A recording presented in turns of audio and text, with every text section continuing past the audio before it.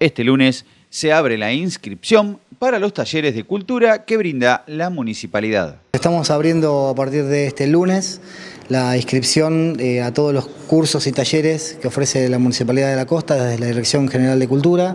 en todos los espacios culturales para la oferta educativa 2020 de todo lo que son las escuelas municipales de arte, eh, incluyendo todo, eh, como te decía recién, la oferta educativa para todas las localidades del Partido de la Costa. Va a estar todo nucleado dentro de lo que el dispositivo que eran las escuelas municipales de arte, o sea, todos los talleres que funcionaban por fuera de las escuelas municipales van a ser incorporados para formar parte de un solo dispositivo, si se quiere, que va a ser la oferta unificada de las escuelas municipales de arte. Va a funcionar con niveles en algunos casos, con niveles 1, 2 y 3 para niños, jóvenes y adultos, como venía siendo hasta ahora, eh, y algunas otras ofertas educativas con algunos talleres van a ser de manera anual, eh, unianual, digamos, como venía haciendo con los talleres eh, tradicionales que tenía la Dirección de Cultura. A partir del lunes 9 de marzo, en todos los espacios culturales, en el horario de 17 a 21 horas. Y en breve vamos a estar abriendo la inscripción a espacios que van a ser alternativos de alguna manera